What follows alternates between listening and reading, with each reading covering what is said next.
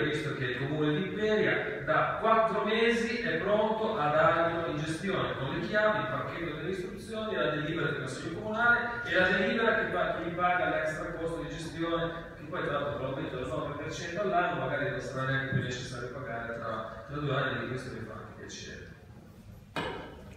Sindaco Capaci,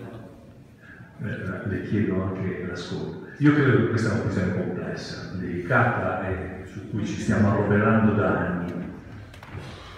Se invochiamo un paradosso, poi ne possiamo invocare altri di paradossi. Perché un paradosso sta nel fatto che la comunità imperiese